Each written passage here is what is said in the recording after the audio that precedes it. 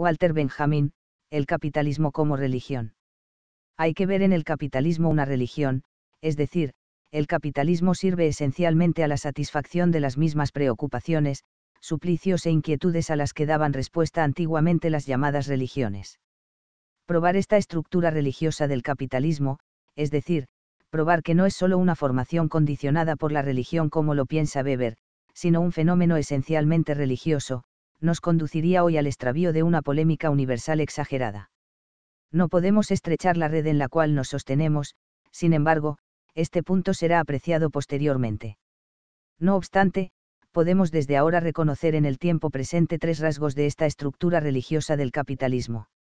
En primer lugar, el capitalismo es una religión puramente cultural, quizás la más extrema que jamás haya existido. En él, todo tiene significación inmediata respecto del culto, no conoce ninguna dogmática específica, ninguna teología. El utilitarismo gana bajo este punto de vista toda su coloración religiosa. El segundo rasgo del capitalismo está estrechamente ligado a esta concreción del culto, la duración permanente del culto. El capitalismo es la celebración de un culto sans revet sans merci. No existe en él ningún día ordinario, ningún día que no sea día de fiesta en el terrible sentido del despliegue de la pompa sacra, de la tensión extrema del adorador. En tercer lugar, este culto es culpabilizante. El capitalismo es probablemente el primer caso de un culto que no es expiatorio sino culpabilizante. En esto, este sistema religioso se precipita en un movimiento colosal. Una conciencia monstruosamente culpable que no sabe espiarse se apodera del culto no para espiar en él esta culpa sino para hacerla universal, para hacerla entrar por la fuerza en la conciencia y, finalmente y sobre todo, para implicar a Dios en esta culpabilidad a fin de que él mismo tenga, finalmente, interés en la expiación.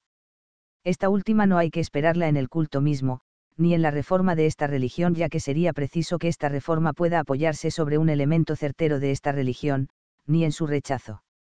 En la esencia misma de este movimiento religioso que es el capitalismo yace la perseverancia hasta el final, hasta la completa culpabilización final de Dios, hasta un estado del mundo afectado por una desesperanza que todavía se espera. Lo que el capitalismo tiene de históricamente inaudito es que la religión no es ya la reforma del ser sino su destrucción. Habría que esperar la salvación de la desesperanza que se extiende al estado religioso del mundo. La trascendencia divina se ha derrumbado. Pero Dios no ha muerto, está incorporado en el destino del hombre. La transición del planeta hombre, siguiendo su órbita absolutamente solitaria en la casa de la desesperación, es el etos que determina Nietzsche.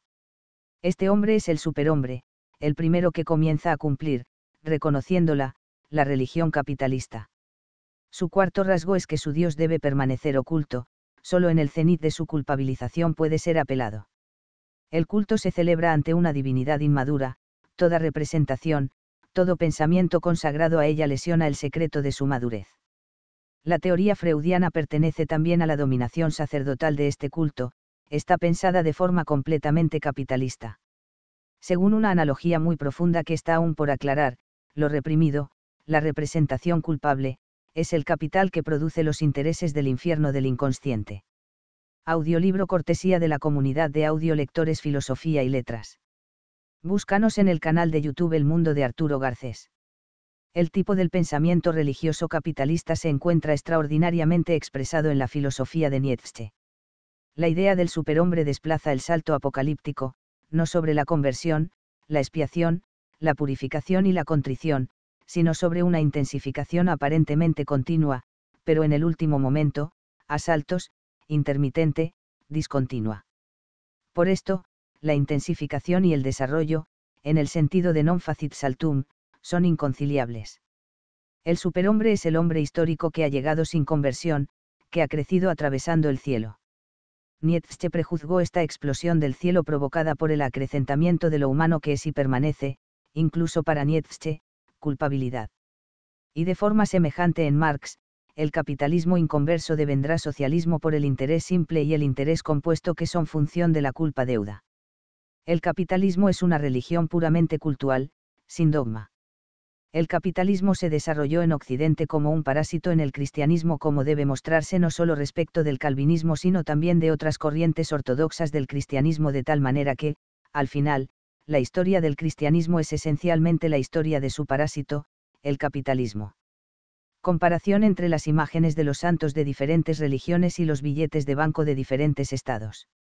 El espíritu que habla en la ornamentación de los billetes. Capitalismo y derecho. Las preocupaciones, una enfermedad del espíritu propia de la época capitalista. Sin salida espiritual, no material, en la pobreza, monacato de la vagancia y la mendicidad. Un estado de sin salida semejante es culpabilizante. Las preocupaciones son el índice de esta conciencia culpable de la sin salida. Las preocupaciones nacen por el miedo de que no haya salida, no material e individual, sino comunitaria. El cristianismo en la época de la Reforma no favoreció la llegada del capitalismo, se transformó en capitalismo. Habría que investigar metódicamente los lazos que desde siempre el dinero ha establecido con el mito a lo largo de la historia hasta que haya extraído para sí del cristianismo suficientes elementos míticos para establecer su propio mito el precio de la sangre barra cisouras de las buenas obras barra el salario que se le debe al sacerdote barra Pluto como dios de la riqueza. Adam Muller, Redenuber die Samkeit P. SS. Relación entre el dogma de la naturaleza resolutoria del saber, propiedad para nosotros que lo hace a la vez redentor y verdugo, y el capitalismo, el balance como saber redentor y liquidador. Se reconoce fácilmente una religión en el capitalismo si se recuerda que el paganismo originario concebía, en principio, la religión no como un interés superior, moral, sino como el interés más inmediatamente práctico, en otras palabras, el paganismo no tenía más conciencia que el capitalismo de su naturaleza ideal, trascendente, y la comunidad pagana consideraba a los miembros irreligiosos o heterodoxos como incapaces, exactamente como la burguesía de hoy considera a sus miembros. Improductivos. Audiolibro cortesía de la comunidad de audiolectores Filosofía y Letras. Búscanos en el canal de YouTube El Mundo de Arturo Garcés.